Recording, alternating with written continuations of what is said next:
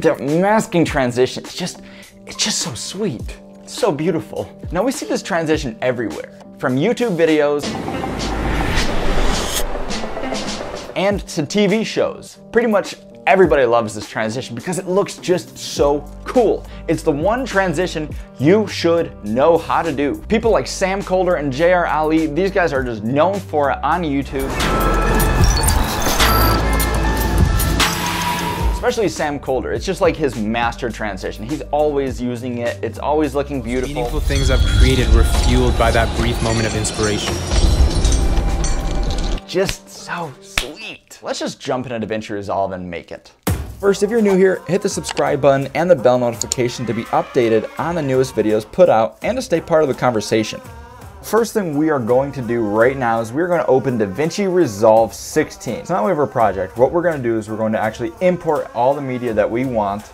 If you want to try this but you don't have a clip that works, in the description below, I have a link to my Google Drive that has these clips to download in there. So just go below, click it, download it, and open up DaVinci Resolve.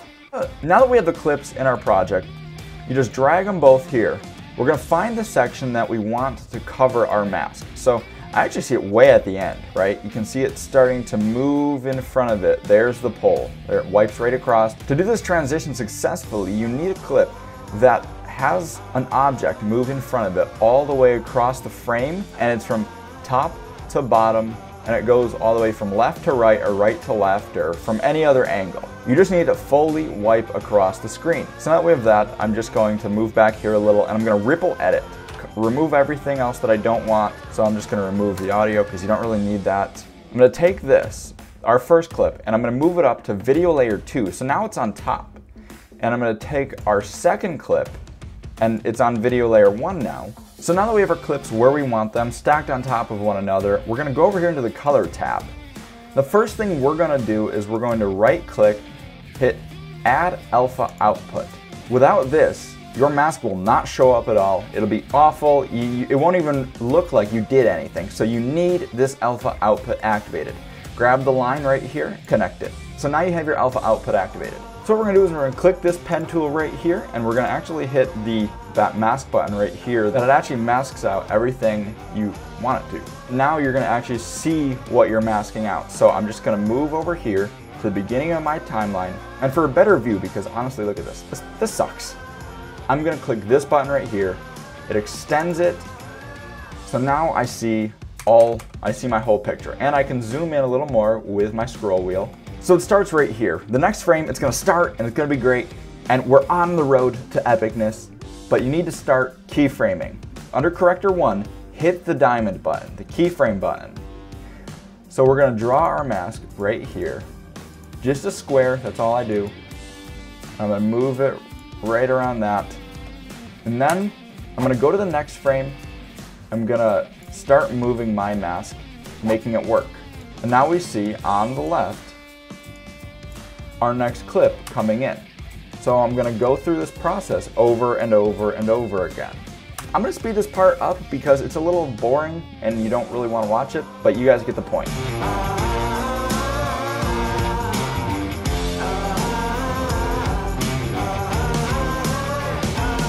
So now that we see it's pretty much exited the frame, all we're gonna do is we're just gonna finish up this last little section right here, and boom, we're done.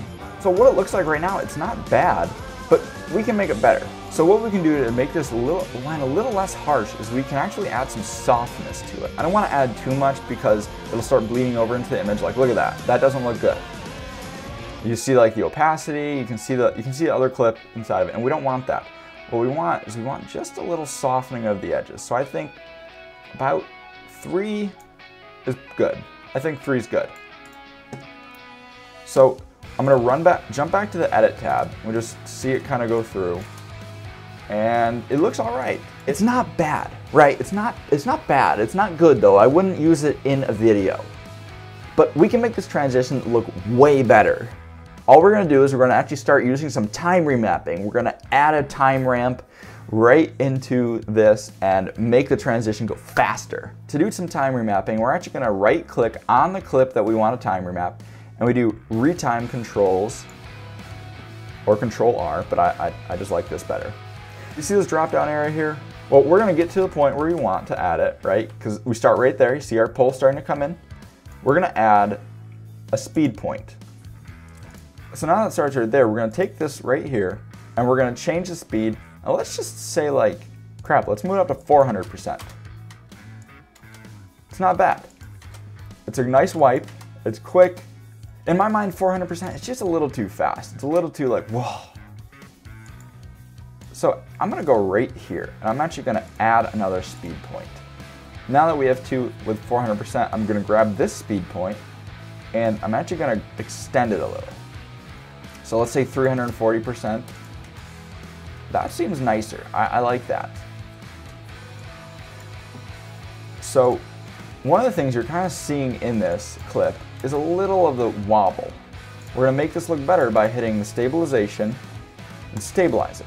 It's super fast. It's so much better than Premiere Pro in my mind. It just crops right in and it looks nice. Now you have stable footage. You're gonna do the same thing for the bottom one and there it is. We got that looking all nice right there. So it's better than it was. But now what we're gonna do is we're actually just gonna go and edit the curves a little. We're gonna make it curvy. To edit the time curves, we're gonna hit right click, I'm gonna go retime curve, and then we're gonna go to this little drop down area. We're gonna go all the way down. It says retime frame. Well, I don't want that.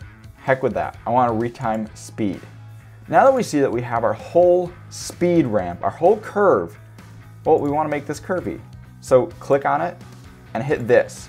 And now we see these little handles pop up.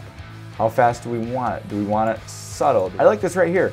We got our little curve going on, moving up. It's smooth. So now we have that. We're just gonna close this out because we don't need it anymore.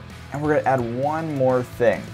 It's looking good so far, right? You could use this in a video I just want the whole thing to be blurred, right? I just want to blur right across it all. I've seen people do this in many other ways. They'll just go and blur the blur one clip, blur the other clip, but I say kind of screw that. I want to add an adjustment clip. So go to effect, go to the effects library, go down to effects, and you see adjustment clip, and just drag it on top. I'm to go to the color, and I want to see everything right now, so I'm going to click this.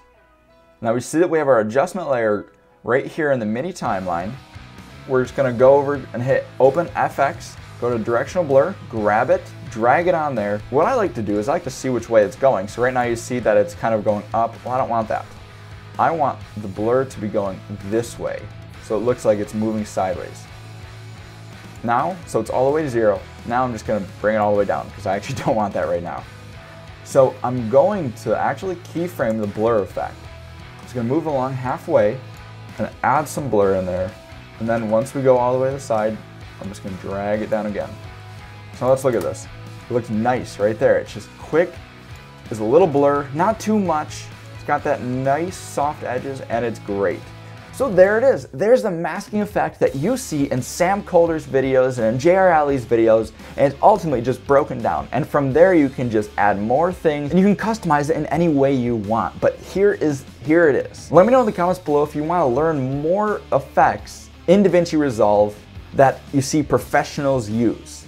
And I just want to say thank you guys so much. We just hit 200 subscribers on this channel. That's, that's freaking ridiculous. Like I started this five weeks ago, I think. So like mind equals blown. Like I'm so freaking psyched. So you guys are awesome. I just, I really appreciate you guys. I really appreciate all the love, all the support, all the comments, and you guys are awesome.